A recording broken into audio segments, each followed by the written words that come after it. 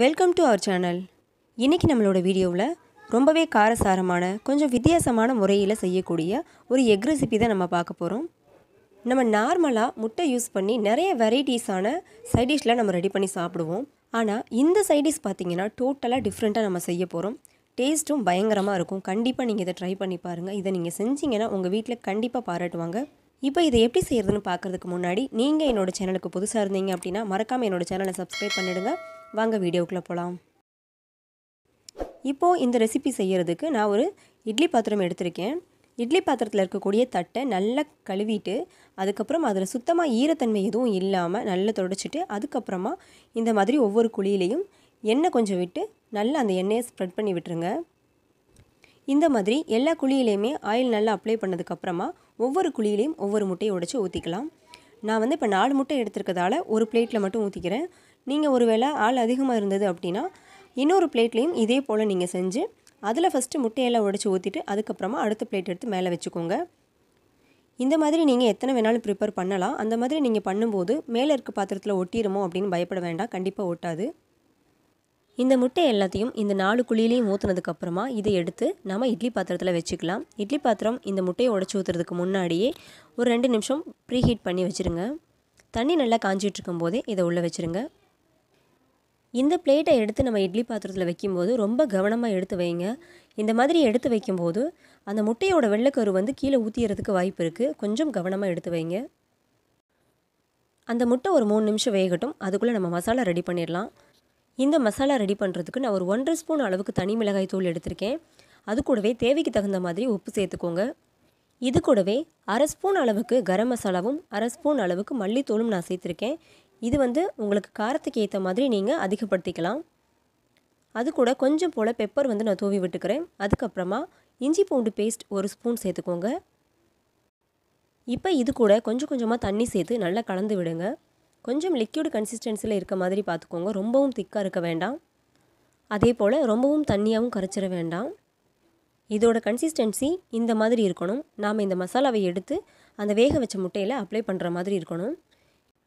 இப்போது நம்ம வேக வச்ச முட்டையெல்லாம் வெந்துருச்சான்னு பார்க்கலாம். நல்லாவே வெந்திருக்கு.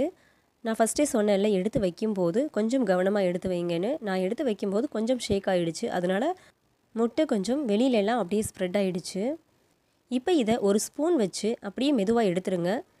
எடுக்கும்போது உடைச்சிடாமல் கவனமாக எடுங்க. ஏன்னா முட்டை நல்லா வெந்திருக்கு அப்படின்றதுனால நடுவில் இருக்க அந்த மஞ்சள் கரு இருக்கிற இடத்துல பார்த்தீங்கன்னா டக்குன்னு விரிசல் விட்டுரும். கொஞ்சம் பார்த்து கவனமாக எடுத்து விட்டுருங்க. நீங்கள் இந்த முட்டைகளை இந்த ஸ்டேஜ்லேயே கூட கொஞ்சம் போல் சால்ட்டும் கொஞ்சம் தூக்கலாக பெப்பரும் போட்டு இதை வந்து சர்வ் பண்ணலாம். நல்ல டேஸ்ட்டாகவே இருக்கும். இப்போ இந்த நாலு பீஸுமே நான் எடுத்து வச்சுட்டேன். அதுக்கப்புறமா ஏற்கனவே நம்ம கலந்து வச்சுருக்க அந்த மசாலாவில் பெரட்டி எடுத்துக்கலாம். இந்த மாதிரி நான் வந்து முட்டை பீஸை எடுத்து மசாலாவில் போட்டு கலந்து விடும்போது அந்த முட்டை பீஸ் வந்து உடஞ்சிச்சு நீங்கள் இந்த மாதிரி செய்யாமல் அடுத்து நான் இன்னொரு மெத்தட் நான் சொல்கிறேன் அந்த மெத்தடில் நீங்கள் ட்ரை பண்ணுங்கள் ஏன்னா நம்ம முட்டையை வந்து அப்படியே கைகளால் பெரட்டி விடும்போது அது அந்த வெள்ளைக்கரு வந்து ரொம்ப இலக்கமாக இருக்கிறதால டக்குன்னு உடஞ்சி போகிறதுக்கு வாய்ப்பு இருக்குது நீங்கள் அதுக்கு பதிலாக மசாலாவை கையில் எடுத்து ஒவ்வொரு முட்டை மேலேயும் முழுசாக படுற மாதிரி நல்லா தடவி விடுங்க. அதுக்கப்புறமா அடுத்த பக்கம் திருப்பி விட்டு இதே போல் எல்லா முட்டையிலையுமே நம்ம மசாலாவை தடவி விட்டுக்கலாம். இந்த முட்டையில் மசாலா தடவுறதுக்கு முன்னாடியே மசாலாவில் உப்பு கரெக்டாக இருக்கா அப்படின்னு செக் பண்ணிக்கோங்க. ஏன்னா இதுக்கப்புறம் நம்ம உப்பு கலந்துட முடியாது. இப்போது மசாலாவை எல்லா முட்டையிலையுமே தடவியாச்சு.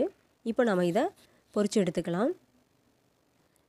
இதை பொரிக்கிறதுக்கு ஒரு பாத்திரத்தில் வெறுமனே ஒரு ஸ்பூன் அளவுக்கு எண்ணெய் விடுங்க போதும். அதிகமாக எண்ணெய் விட வேண்டாம். அதிகமாக நம்ம விட்டோம் அப்படின்னா மசாலா ஃபுல்லாக எண்ணெயிலேயே கரைஞ்சிடும்.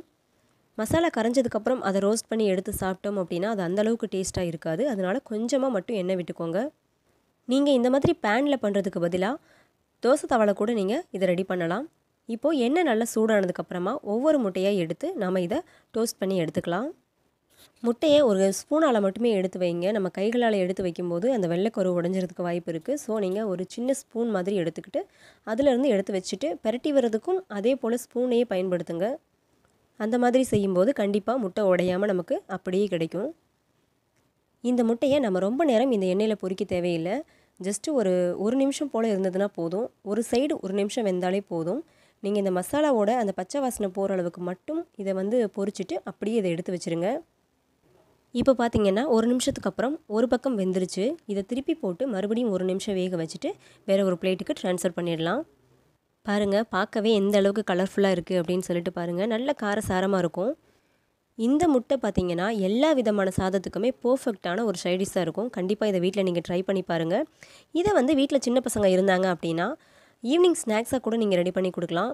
இந்த முட்டையை ரெடி பண்ணிவிட்டு ஒரு டொமேட்டோ சாஸ் வச்சு நீங்கள் கொடுத்தீங்க அப்படின்னா பசங்க கண்டிப்பாக ரொம்பவே விரும்பி சாப்பிடுவாங்க. கண்டிப்பாக இதை வீட்டில் ரெடி பண்ணிவிட்டு டேஸ்ட் எப்படி இருக்குன்னு கமெண்ட்டில் சொல்லுங்கள் இந்த வீடியோ உங்களுக்கு பிடிச்சிருந்ததுன்னா மறக்காமல் சப்ஸ்கிரைப் பண்ணிவிட்டு அப்படியே பக்கத்தில் இருக்க பெல் ஐக்கனையும் கிளிக் பண்ணிக்கோங்க. அப்போ தான் நான் போடுற ஒவ்வொரு வீடியோவும் உங்களுக்கு நோட்டிஃபிகேஷனாக வரும். தேங்க்ஸ் ஃபார் வாட்சிங் thank you so much for your valuable support keep supporting